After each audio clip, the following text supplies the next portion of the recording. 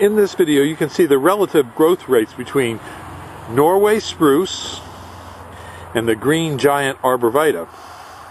And you can see from this video that the green giant does grow faster and taller than the Norway spruce. This is just one example, but there are more in this field because I planted a couple of them here to be able to show you the difference between the growth rates. And the growth rate of the Norway spruce is slower, about one third slower than the green giant. Both are great for screening and buffering. However, if you have a lot of deer, you really want to go with the Norway spruce. The Norway spruce will lose some lower foliage as it gets older.